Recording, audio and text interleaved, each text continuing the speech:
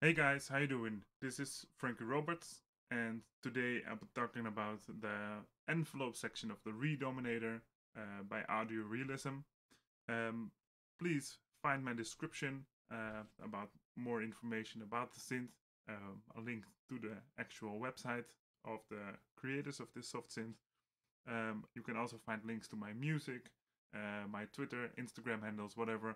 Get in touch with me. We'll talk about it and uh, yeah, let's get uh, to music making together, right? So this video will be about the envelope section of the Redominator. And why I decided to create this video was because I was used to the actual hardware and I never had a problem with setting up the envelopes on the actual hardware. But as soon as I got a soft synth of it with a visual rep representation, I got some errors and made some errors actually. I was a little bit confused about how it worked because I was, of course, used to, uh, for example, the ADSR setup, which is actually very simple. And I was trying to find the right setting to create a visual representation of the soft synth. So let's have a look at it and um, you turn the synth around, you can actually find a visual representation representation of the envelope, which is also printed on the keyboard itself. So T1 in combination with L1 would make up the attack, and L1 would represent the volume it would reach, and the T would represent the time it would take it to reach level 1. So normally you just have an attack and it's hard coded in the soft synth how much time it is and depending on the volume of the oscillator it will get there at some time. But for this synth we can actually set the level of the attack. So I attached a scope to the synth uh, which is routed from the CV out of the envelope to the in of the scope. And let's have a look at how it works. I've set the uh, amp of the synth to the envelope section instead of gate, which is a really nice feature. And um, that's also the reason why uh, the Juno sounds so uh, authentic, specific. So let's have a look sound it creates now and try to set up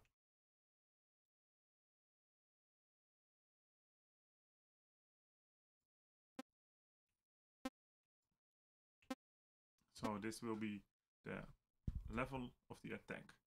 And if we change the T1 parameter, it will take more time to actually reach that level. So this will be the attack of of the of the synth actually, but it will only work if you change the level, right? So this will be a very short, uh, not very loud attack setting. So now we could use the T2 parameter in combination with this, and T2 is this part, so it's the decaying part, but there's actually two decaying settings there.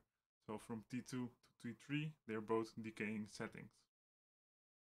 So if we change the T2 uh, to take some time, and let's change this to the number 5 to the, the half setting. And you can see that the sound is trying to decay there. So this is a very simple saw-like uh, envelope.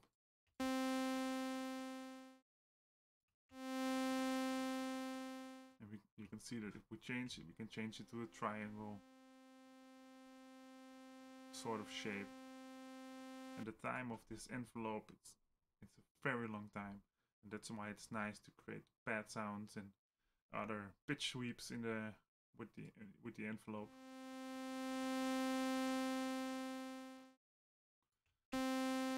So we have a sawtooth uh, kind of like, kind of like wave and we want to change the decay setting of the of the synth.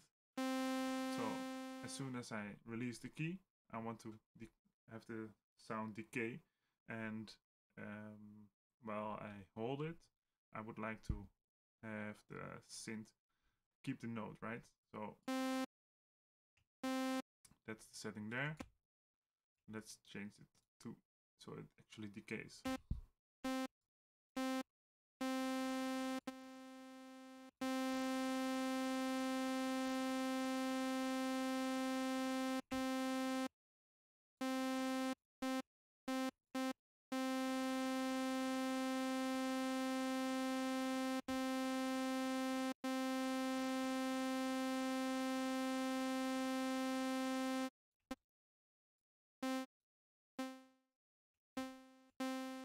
Took me some time, but we're there.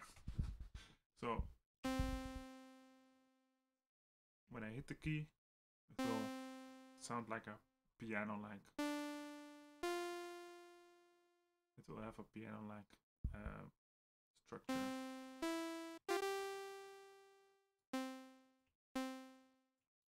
So let's look at the sustain setting.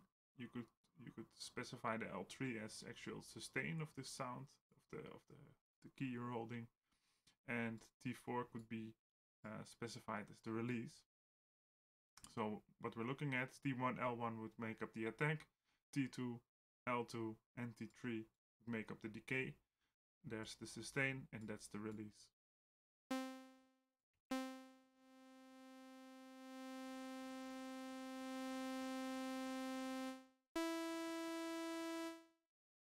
Can see the complete structure now. Let's add the attack to the equation.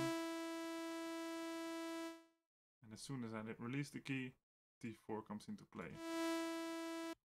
So there's no envelope there.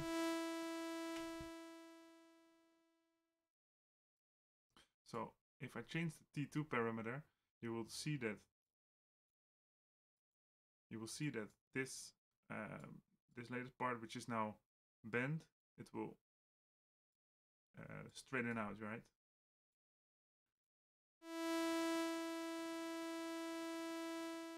So it gets a different, little different structure, which you can use for like uh, moving pitch, uh, pitch bench, uh, pins, pitch bends actually.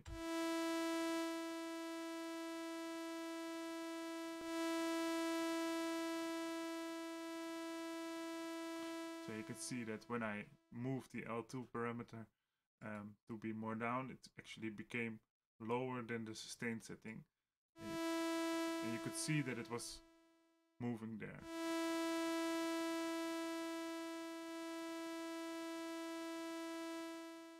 Which is something very nice also with pitch uh, in combination with the pitch um, pitch envelope to yeah to create moving sounds together with the long attack times and the long uh, the long settings you can create on this envelope it becomes really nice. So let's have a quick look at it.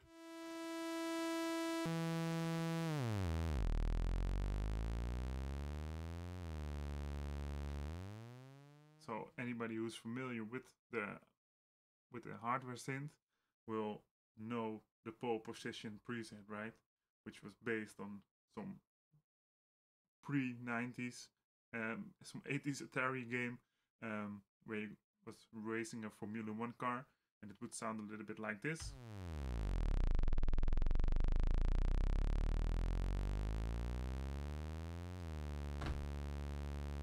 It was shifting gear there. Anyway, I hope you liked this video. Please give a thumbs up, subscribe, and I'll see you in the next video. Let me know if you have any questions, put them in the comments and I'll be there. Thanks for watching. See you later. Bye bye.